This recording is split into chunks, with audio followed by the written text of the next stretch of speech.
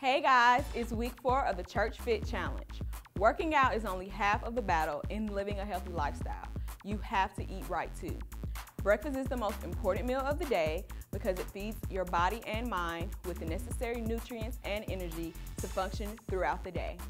Eating breakfast daily will also help keep weight off because it gets your metabolism going. Make an extra effort to eat clean this week.